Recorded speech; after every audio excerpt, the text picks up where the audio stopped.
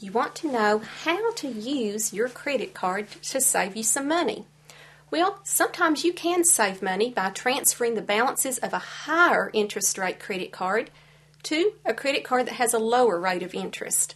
And also, if you have problems making payments, then you may find that one card can incorporate all your small credit card balances together into one payment each month.